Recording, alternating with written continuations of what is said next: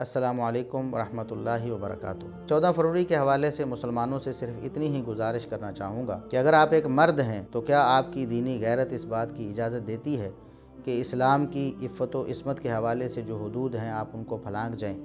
क्या इस हालत में बेशर्मी और बेगैरती का मुजाहरा करके क़यामत के दिन रसूलुल्लाह सल्लल्लाहु अलैहि वसल्लम से हौज़ कौसर के जाम का आप मुस्तक बन सकते हैं? और अगर आप एक औरत हैं तो क्या आप इस हालत में इस बेगैरती और बेहयाई का शिकार होकर क़यामत के दिन जन्नत में रसूलुल्लाह सल्लल्लाहु अलैहि वसल्लम की अजवाज मतहरात का सामना कर सकती हैं। क्या उस जन्नत की वारिस आप ऐसी हालत में बन सकती हैं जिस जन्नत के सरदार रसूलुल्लाह सल्लल्लाहु अलैहि वसल्लम की पाकीज़ा बेटी सैयदा फ़ातिमा रज़ी अल्लाह हैं?